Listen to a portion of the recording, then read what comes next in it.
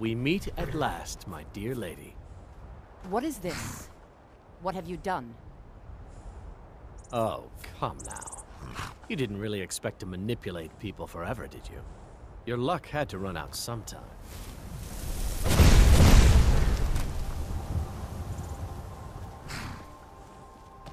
Now we'll take our friend here back to Hammerfell, where she will pay the price for her treason. Not on the way back. Once she gets there, it's not up to me to decide what's done with her. And as for you, I owe you a portion of the reward, don't I? Well, here you go. Spend it wisely, and if I may, don't allow yourself to be fooled by a pretty face. You're better than that. She sold the city out to the Aldmeri Dominion.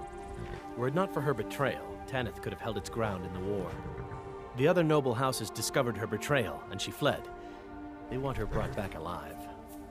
The resistance against the Dominion is alive and well in Hammerfell, and they want justice. Mm-hmm. Until next time.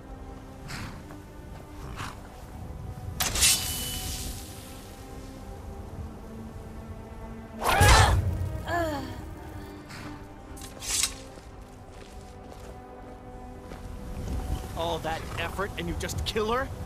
You've ruined everything.